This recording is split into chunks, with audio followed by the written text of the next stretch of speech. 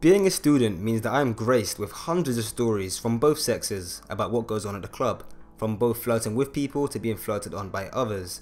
And after two long years of basically laughing at everyone, I thought now would be a good time to put all my ideas together and I guess explain how a guy should properly talk to a girl at the club, of course from the perspective of a male talking to a female. So, going straight into it, let's talk about the first thing you should try and get into a good habit of when it comes to flirting people at the club, and that is eye contact. It must be so weird for girls when random guys practically appear behind them and just start dancing or something out of nowhere. It's so startling and unexpected and it's realistically something you can fix so easily and that is by making eye contact first. Maybe make 3 to 5 seconds of proper eye contact so that doesn't include little glimpses, that's not a long hard stare, that's just locking eyes for a few seconds to build some sort of rapport, maybe smile a little or just be positive, not too long, not too short.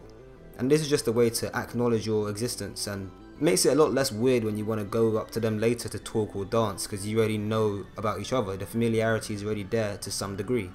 But once you've made your eye contact and you've walked over and you're looking to talk, the next thing you should do 9 times out of 10 is work to break the touch barrier. Now a lot of guys leave this to way too late or they just do it in the wrong context, i.e. they like tap them on the arm or something after a weird joke or an awkward compliment. And this just isn't the right way to do it. Don't tap them, don't hold on to their arm, pull them away, don't do anything dumb like that. Just a simple, like, let's say you're going to get a drink, you should say, oh, I'm gonna go get a drink, do you wanna come with? And maybe rest your hand on their shoulder or their arm for like two seconds. No more than like two or three seconds, because that's when it gets weird and that's when it becomes too touchy. Assuming you can touch them kind of in a way claims territory, that's not really the best word to put out there, but it's, it in another way builds a sense of rapport, builds a sense of familiarity and gets that connection. And a lot of the time, once you actually break that touch barrier, this makes it so much more easier later on. You get more comfortable together and a lot less awkward. But yeah, talking about being awkward, this is the hardest part to get right, I think, and that's the final part of this video, which is compliments. Now, compliments inherently make things awkward, it increases tension. Like, think about it from when you're at work. When your manager comes and says, Oh, Jordan, you're doing a good job today, you're already thinking, you know, what does he want me to do? What am I doing wrong? Is she going to ask me to do something?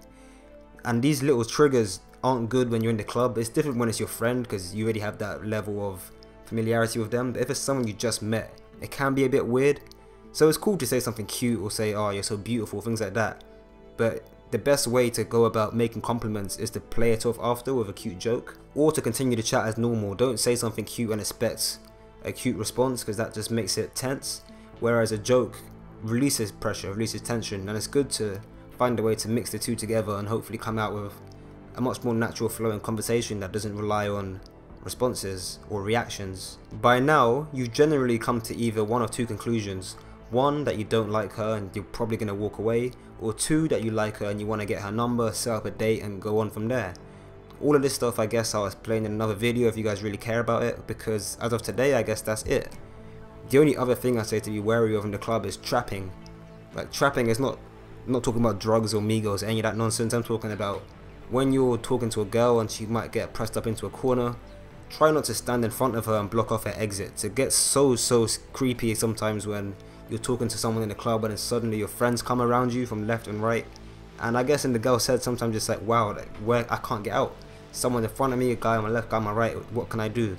That's probably the only other thing I say to be conscious of. But other than that, I guess we're good for today. So I hope you guys enjoyed this video. If you took something away from it, let me know down in the comments below. Subscribe for more. Hadouken that like button. And yeah, I'll speak to you guys very, very soon.